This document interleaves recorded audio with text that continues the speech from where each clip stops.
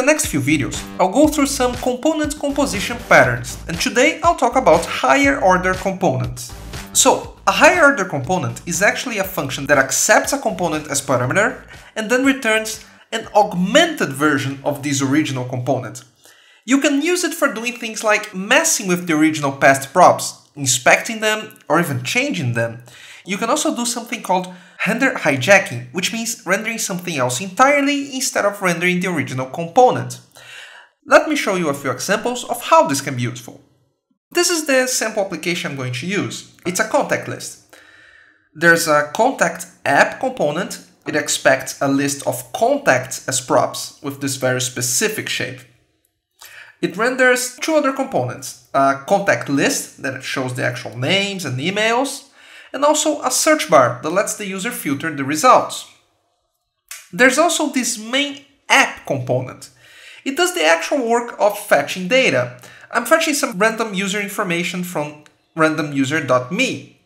It then maps over this uh, data and feeds it into the contact app component.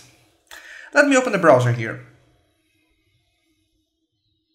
So here it is. Uh, you can see the list of contacts with their names and emails. I can filter the contact list. Uh, but when I refresh the page, you can see that there's this small amount of time where there's a blank page. And what I want to do here is I want to show a loading indicator for a better user experience. Well, I could obviously add this loading indicator on the contact app component. That's what one would normally do. But instead I'm going to create a high order component for dealing with these loading indicators in a generic way. Uh, so I'm going to create a folder here, HOC. I'm going to create a new file. Remember that in the beginning I said that a higher order component is actually a function. So const loader higher order component, it will accept a component as parameter and then it's going to return a new React component. Now, you could return a functional component or you could return a component created with react.createClass. I'm going to actually return a class-based component. So I'm going to import not only React, but component from React, okay? And then I'm going to export loader HOC extends component. Oh, I forgot class here. Cool. Now I'm going to export this. In the render method, instead of rendering back directly the wrapped component, I will first check to see if the contacts prop is empty. So this dot props dot contact dot length equals zero. If it is empty, I will render a div instead. Uh, let me throw a class name of loader here.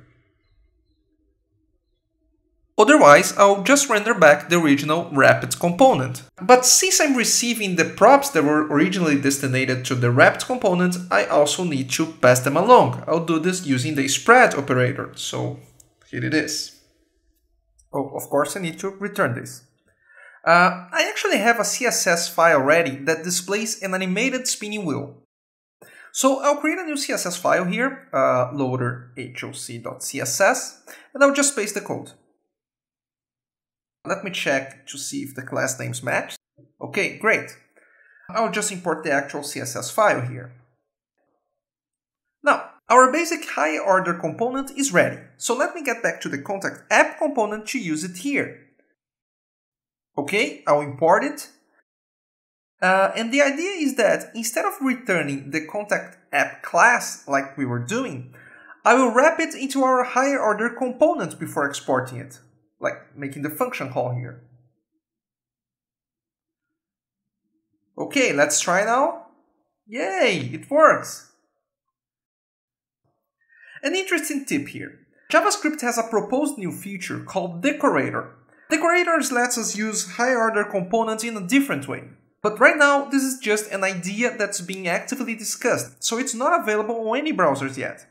If you want to try it, you'll have to check how to get it working for your development environment. If you use Babel, take a look at the show notes and I'll point you where to look at it.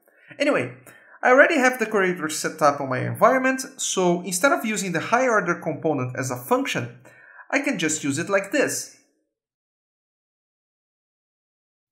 See, the idea behind the name is that it decorates the class name. So, let me try again. Awesome, still working.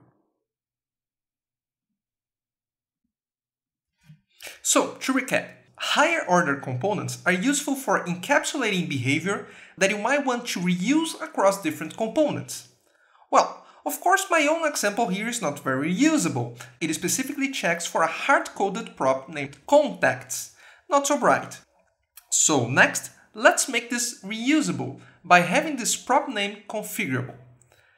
Well, the first thought would be to just add an additional parameter here with the prop name. But while this will work as a function call, it won't work as a decorator. The alternative here is creating a curried version of our function, which will work for both cases. A curried function is a function that receives one single parameter at a time, returning a new function that accepts another single parameter until all of the parameters are provided. In our case, I'll receive prop name first and then the wrapped component. Now, instead of looking for this hard-coded contacts prop, I'll just use whatever prop name was provided. I also won't assume that this is an array object with a length, so instead I will create an auxiliary method called isEmpty. And I'll make some assumptions here of whether this prop is empty or not. So for example, if it's null or undefined, I'll assume it's empty. I'm gonna also check for the length property and if length is zero, I'll also assume it's empty. And just for the sake of this example, I'll also check if it's an object, but an object with no keys. I will update the render method, but it still works pretty much the same way. If the prop is empty, it shows a div with a loader class, otherwise it shows the originally wrapped component. So, on our contact app, I need to update the function call here. So passing contacts first, and it works, great. Or calling it as a decorator, like this. Perfect, we just created a reusable higher order component. Now, before I finish, I'd like to take a few more minutes to talk about props.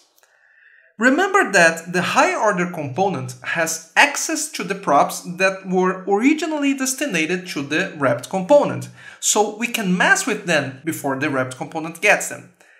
To exemplify, I'll add a new prop. Could be anything, I'll just calculate the loading time and throw it in. Now, I will calculate the loading time in a quick and dirty way, just for testing. I'll set on component did mount a start time local property and on component will update an end time local property. On the render method, I'll create an object that will contain my additional props. I'll define a load time key and calculate the value, this dot end time minus this dot start time.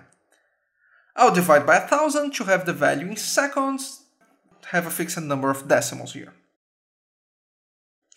Finally, I'll add my custom props to the wrapped component using the spread operator. Now, back to the contact app component, because it's being augmented by the loading higher order component, I should expect to receive a load time prop, so I'll declare it here on my prop types. In the render method, I'll just display it as a paragraph here after the contact list. Let's try it, and here it is. You just watched the very first React cast. This was just a test, a sample, so if you like it and you want me to continue creating new episodes, please like or add a comment below. Thanks for watching!